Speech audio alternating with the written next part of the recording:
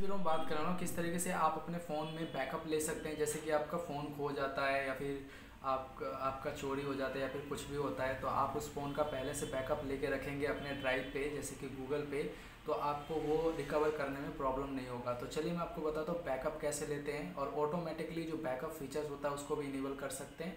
और यहाँ पे लिखा हुआ आप देख सकते हैं, पंद्रह जी तक गूगल पे आप फ्री में स्टोरेज को स्टोरेज स्टोर कर सकते हैं फ़ोटो वीडियो पंद्रह जी तक स्टोर कर सकते हैं।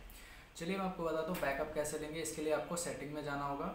और ये जो मेरे पास फ़ोन है, आप देख सकते हैं लावा का है लावा के किसी भी डिवाइस में ले सकते हैं तो सबसे पहले सेटिंग में जाना है। सेटिंग में जाते ही सबसे नीचे आपको सिस्टम पे क्लिक करना होगा। सिस्टम पे क्लिक करने के बाद आपको यहाँ पे बैकअप का ऑप्शन देखने को मिलेगा तो आपको इस पर क्लिक करना है। क्लिक करने के बाद आपको यहाँ पे टर्न ऑन बैकअप का ऑप्शन दिखेगा तो आपको सिंपली टर्न ऑन पे क्लिक कर देना है।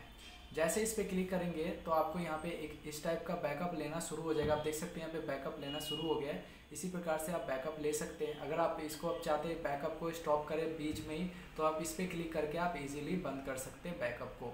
तो मैं इस पर क्लिक करके स्टॉप करना चाहता हूँ तो इस पर क्लिक करके स्टॉप भी कर सकते हैं। आप देख सकते हैं स्टॉप हो गया है। तो इसी प्रकार से आप ऑफ़ कर सकते हैं और ऑटोमेटिकली वाला जैसे मैंने आपको बताया तो इस पर ऑटोमेटिकली जैसे ऑन करके रख देंगे तो ऑटोमेटिकली बैकअप ही लेता रहता है।